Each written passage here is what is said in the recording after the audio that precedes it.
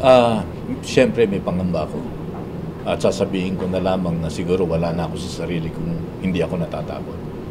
Pero ang hindi ko kinatatakutan, yung pagsasabi ng katotohanan na alam kong makatutulong sa Iglesia ni Cristo. Opo. Um, sinabi niyo po kanina sa press conference na kayo po ay na, nasa house arrest kasama po ang inyong pamilya. Ah, na-house arrest ako mula ng Webes hanggang kanginang umaga nung kami ay makatakas ng pamilya.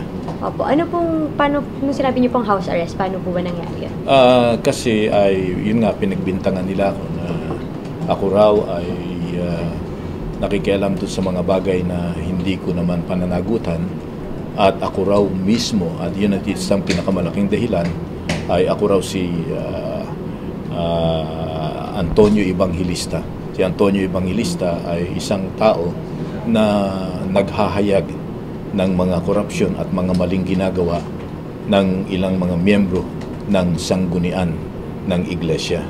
Ah, pinipilit nila na ako raw yun.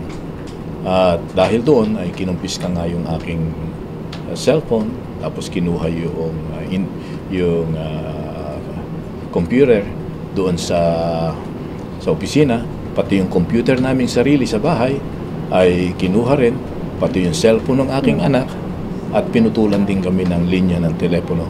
Kaya in-isolate kami sa loob ng mahigit na isang linggo. Isolated kami, hindi namin nalalaman ang nangyayari sa labas.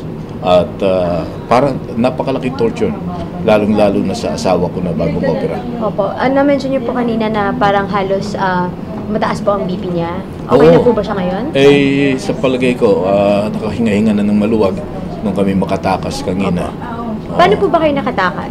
Eh, bueno, talagang binabantayan eh. Nagbabantay sila hanggang sa madaling araw. So, naisip ko na lamang Madaling na... araw po kahapon. Oh, kanina. Kanina. Mga siguro hanggang mga 2.30. Okay, nandun sila, nakikita ko. Kasi nag-iisip nga kami kung paano kami makatatakas. Kasi ay gusto nila akong magsalita. Ah, interviewin daw nila ako ngayon kan- kanina na sabihin kung hindi totoo yung tungkol dun sa mga abduction at dun sa mga yung sinabi ng aming ah, ng asawa ng kapatid na Tenny at ng kanyang anak tungkol sa nanganganib ang kanilang buhay. Eh hindi ko masasabi yun sapagkat ako mismo eh. Alam ko nanganganib ang aking buhay. eh.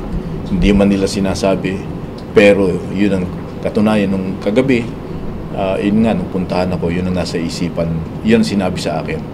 Kaya, pagdating ng madaling araw, ah, 5:30.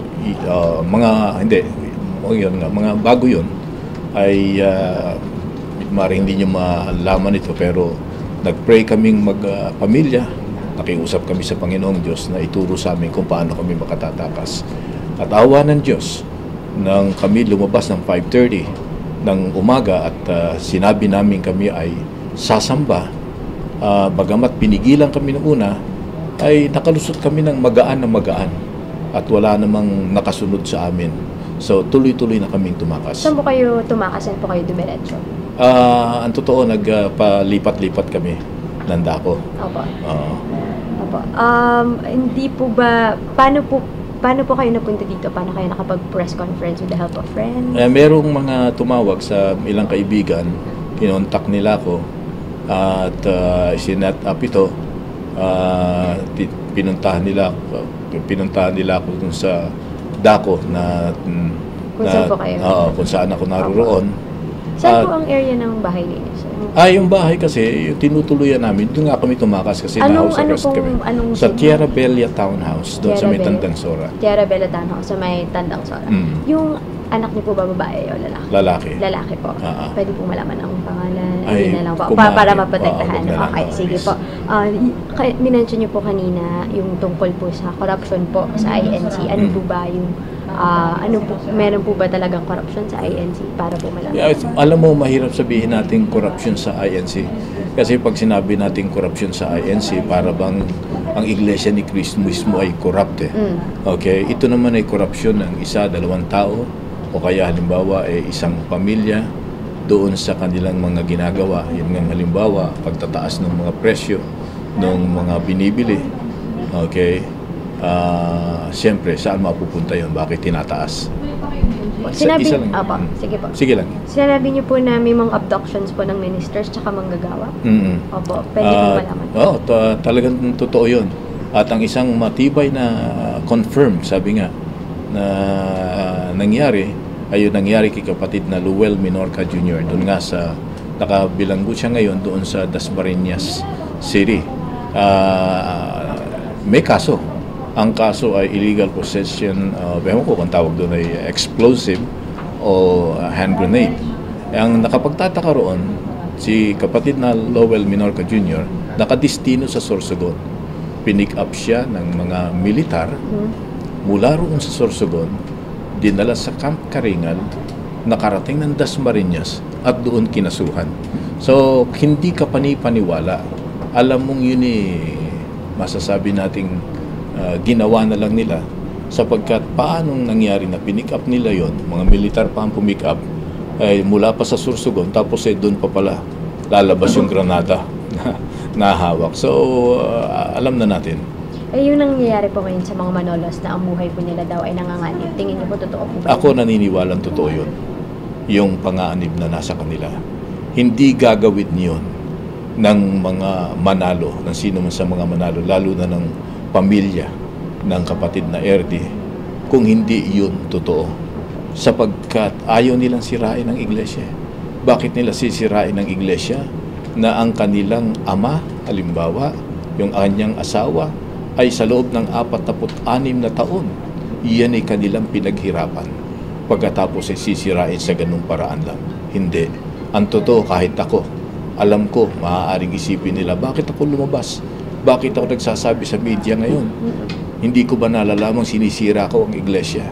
Ang aking paningin dyan, lalong masisira ang iglesia kapag ka walang naglakas loob na magsabi ng maling nangyayari. Mga last few questions na po. Okay. Ano na po ngayon yung mga steps na ginagawa niyo para masiguradong protektado ang inyong asawa at anak? May Well, okay. Ah, meron namang ilang mga nag ah, tumutulong sa akin. Nagulat nga ako kung sino-sino yung mga tumutulong eh. Hindi ko iniisip. Yung iba, ngayon ko lang nakilala. Bagamat meron ilan sa kanilang nakilala ko. Ah, dati nang na, na, na-meet ko ng paminsan. Taga-INC din po. Oo.